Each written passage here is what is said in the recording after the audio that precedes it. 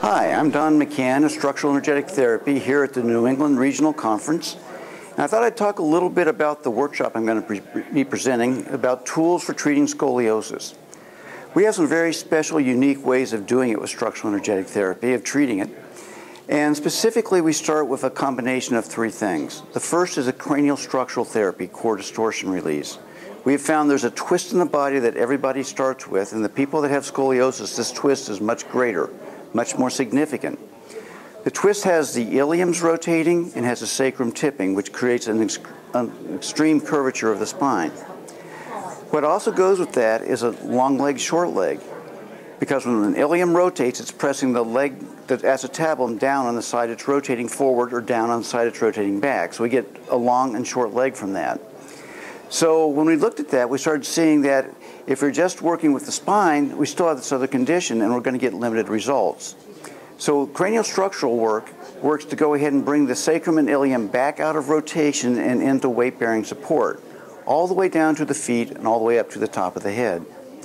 What happens when we bring the iliums back into support and the sacrum more level is the exaggerated curvatures of the spine automatically become less, and they're supported.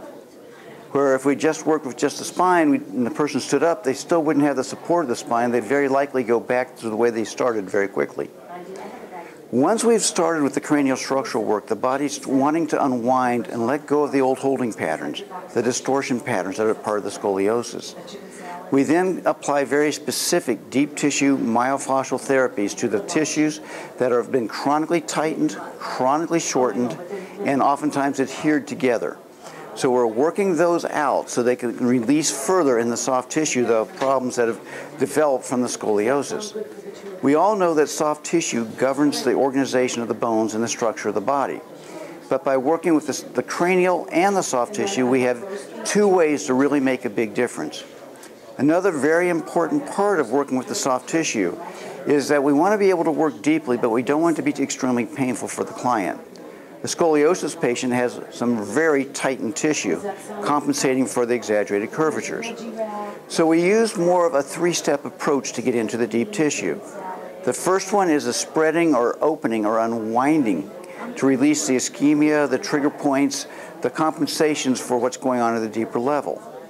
The second one is a directed myofascial unwinding to get the right tissues to release in the way that the body needs to let go to stand up straighter. The third is we go back into those chronically tightened areas where the muscles become glued together, the fascias become adhered, and we separate, stretch, and reorganize these tissues. But by working the three layers at one time, one after the other, we can work deeply and be tolerable for a client to get substantial change.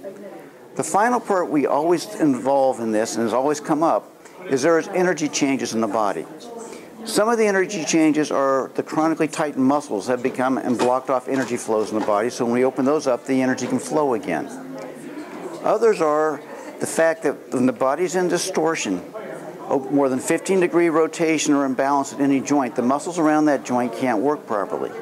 So we're working to bring the muscles and the, the rotation out of the body and we get less than 15%, muscles start engaging and becoming strong where they were weak before. The third part is the chronically tightened muscles in the body block off the expression of emotion. And the body gets invested in keeping that emotion contained. So we create space for that energy to flow through. It may come through as vibration, it may th come through as recognizable emotion, it may come through as heat. But regardless, we create the energy for that to release so that when the body is released, there's no reason for it to go back. It's no longer having to contain or block that emotion. And the energy flows in the body are connecting and working to support the body. So that's our three-step approach I'm going to be talking about in the workshop I'm going to be teaching tomorrow. And I just thought it'd be very nice to tell you about it in advance. Thank you very much.